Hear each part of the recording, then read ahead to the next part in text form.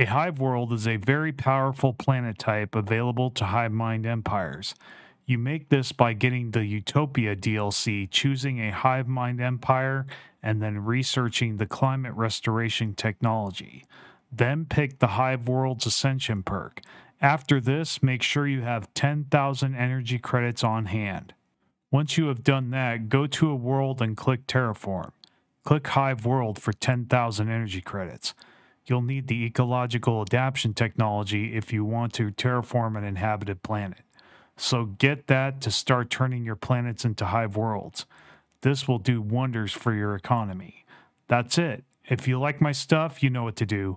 Thanks, and I'll see you next time.